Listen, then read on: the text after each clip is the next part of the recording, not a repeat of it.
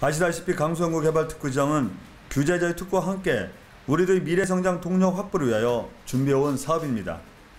규제자의 특구가 일정 지역의 규제를 풀어 산업의 활성화를 시키는 것을 목적으로 한다면 강수특구는 기술 핵심 기관을 중심으로 연구 및 산업 기능이 복합된 소규모 고밀도 집적 공간을 말합니다. 존경하는 도민 여러분, 자동차 산업은 우리 충남을 이끌어가고 있는 기간 산업이자 지역 일자리 핵심입니다. 하지만 현재 우리 자동차 산업은 세계 무역의 변화와 4차 산업혁명 등으로 인해 새로운 변화의 시기를 맞고 있습니다. 전환점에 서 있는 자동차 관련 산업이 새로운 생태계를 준비하고 미래로 나아가기 위해서는 무엇보다 연구 개발과 기술 사업화 그리고 산업과 기업의 현장이 함께 연결되어 맞물려 들어가야만 합니다.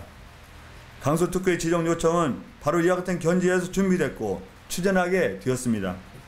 그동안 우리 도에서는 천안아산 KTX 역세권 이론을 4차 산업혁명 시대를 대비한 R&D 집적지구로 조성하는 한편 이 지역을 과기 정통부의 강수공부 개발특구로 지정받기 위해 많은 준비를 해왔습니다.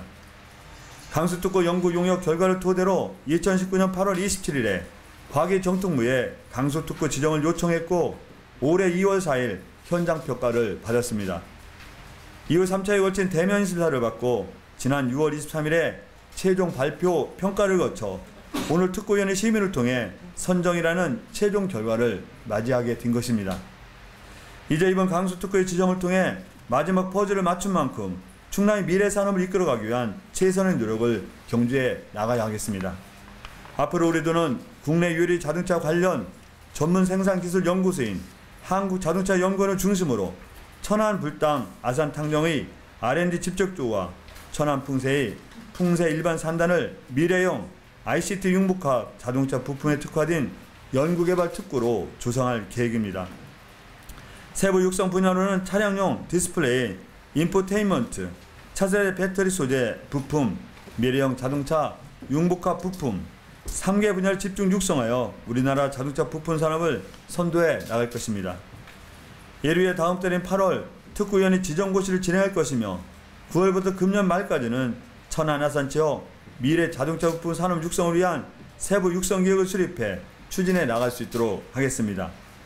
우리 계획이 차질 없이 추진된다면 내년부터 2025년까지 기술사업화 지원을 통해 고용 유발 247명, 부가치 유발 165억 원, 생산 유발 456원이 억 직접 효과가 기대된다 하겠습니다.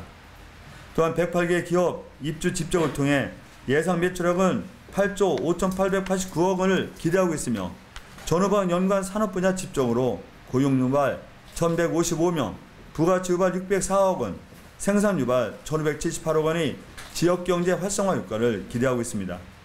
존경하는 도민 여러분, 코로나19와 경제 위기 속 도민 여러분께 희망을 드리는 소식을 전하게 되어 도지사로서 매우 기쁘게 생각합니다. 도민 여러분께서 큰 기대를 갖고 오랫동안 기다려 오실 만큼 이번 강수특구 선정이 충남이 새로운 사람을 열고 지역 경제의 성장 동력이 되도록 보다 철저히 준비해 나가겠습니다.